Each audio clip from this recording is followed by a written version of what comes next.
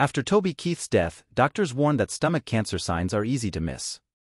Country singer Toby Keith died Monday night at age 62, more than two years after he was diagnosed with stomach cancer. In June 2022, Keith announced on X that he had been diagnosed in fall 2021 and had already received chemotherapy, radiation and surgery.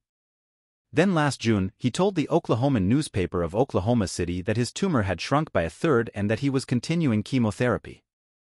He also received immunotherapy, he said, medicine that helps the immune system destroy cancer cells.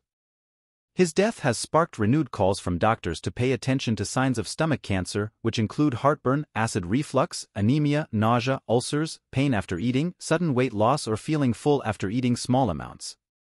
A lot of these things are relatively innocuous. But of course with a cancer, that's how it gets you, as said Dr. Fabian Johnston, the division chief of gastrointestinal oncology at Johns Hopkins Medicine.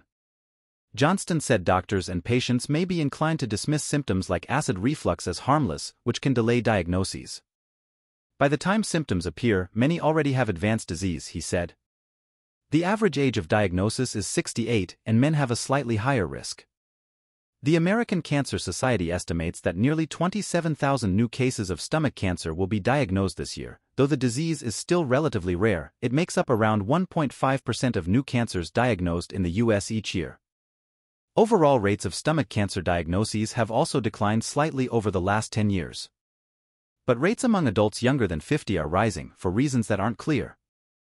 There's something that's going on, something we're eating, something we're ingesting, some combination of factors that's modern and present, which is resulting in these increased cancers in young people, said Dr. Ben Schlechter, a gastrointestinal medical oncologist at Dana-Farber Cancer Institute in Boston. Schlechter said alcohol and tobacco, once common contributors to stomach cancer, are now associated with a minority of cases in the U.S., perhaps because people are smoking less. Instead, many new cases are found in people with chronic acid reflux or infections with a bacterium called Helicobacter pylori, which can cause inflammation in the stomach. However, scientists haven't pinpointed why certain people with those conditions get stomach cancer and most do not. For many patients right now, it's a disease of bad luck, Schlechter said. Maybe there's an association with H. pylori infection. Maybe there's a history of heartburn or reflux, but usually it's not as clear. Schlechter said stomach cancer is generally aggressive compared to other cancers. It doesn't mean that people are imminently dying. It just means that the tools that we have to cure them are pretty limited, he said. People do pretty well compared to 15 years ago, but we are hardly at the level of, say, breast cancer, where the commanding majority of people are cured with surgery. Up to 95% of stomach cancers in the U.S. are adenocarcinomas, which start in the innermost lining of the stomach. From there, the cancer may spread to the stomach wall, the body of the stomach, or the lymph nodes. Patients whose cancer hasn't spread often undergo or receive chemotherapy or immunotherapy or a combination of these options, said Dr. Rutika Mehta, a medical oncologist in the gastrointestinal oncology program at Moffitt Cancer Center in Tampa, Florida.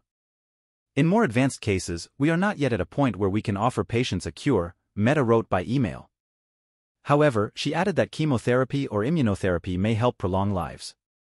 Doctors are also getting better at matching patients with treatments that target specific proteins associated with stomach cancers.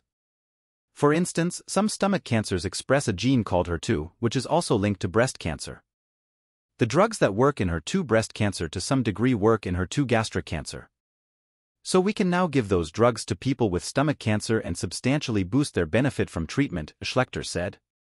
Though outcomes of the disease are generally poor, he said, they're much better than they used to be.